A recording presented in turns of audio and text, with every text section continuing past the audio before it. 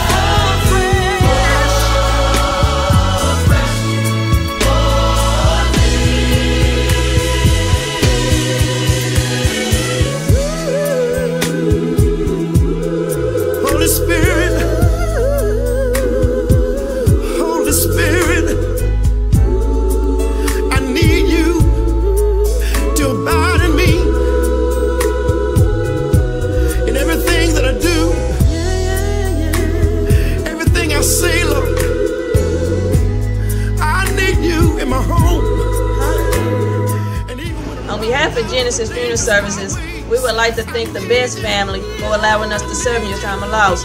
May your faith always serve as a source of strength and comfort to you.